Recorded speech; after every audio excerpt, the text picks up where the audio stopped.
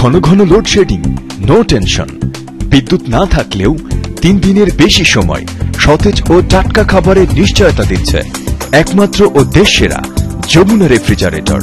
বিদ্যুৎ ছাড়া সাধারণ মানের ফ্রিজে সর্বোচ্চ তাপমাত্রা মাইনাস আঠারো ডিগ্রি হবার কারণে বিয়াল্লিশ ঘণ্টা পর থেকে খাবার নষ্ট হওয়া শুরু হয়।